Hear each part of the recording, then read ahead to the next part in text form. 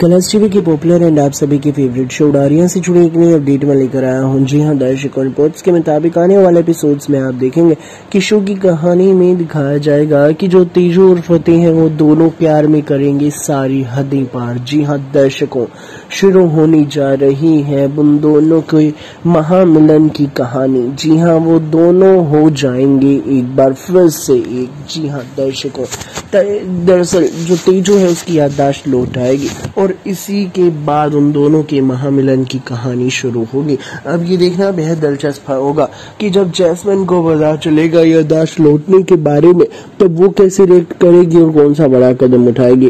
फ़िलहाल के लिए बस इतना ही। अपने पसंदीदा शो से जुड़ी नई नई अपडेट सबसे पहले पाने के लिए हमारे चैनल सीरियल फीवर को सब्सक्राइब कीजिए एंड बेल आइकन पर क्लिक करना तो बिल्कुल भी न भूलें। Thank you